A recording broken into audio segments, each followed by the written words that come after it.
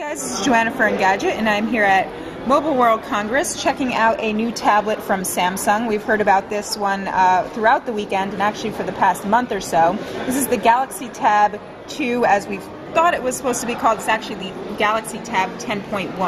But anyway, it's got a 10.1 inch screen, obviously. That's the uh, naming convention there. Um, pretty nice display. Uh, actually, sort of looks like the same display as the Galaxy, uh, the original Galaxy Tab, which uh, we obviously had no complaints about. So just a quick look around the hardware here.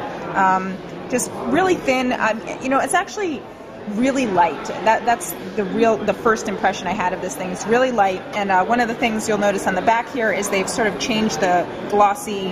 Um, material this is sort of grippy and it feels like plastic but it actually feels pretty solid in hand so also on the back you'll notice an 8 megapixel camera this cool little Samsung logo Around the sides, you've got a power button, uh, speakers, which they say are pretty loud. We haven't tested those.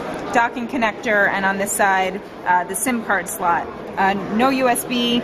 Um, but uh, we haven't actually seen that on any of these Honeycomb tablets. So running Honeycomb here, and the nice news about this is that Samsung says it's going to be a Google experience um, here, so there's no TouchWiz uh, ever going to be coming to this. Um, we've seen, obviously, Honeycomb running. We can just show you a little bit about the UI here.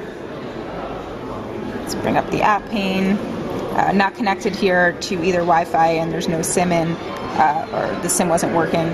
But um, hopefully we'll get a better look at this with a more further along unit. They're saying it's coming in March, no price yet. Uh, also, no word on when it's coming to the US, uh, but hopefully, we'll be seeing it soon. This was a first look here at the Galaxy Tab 10.1.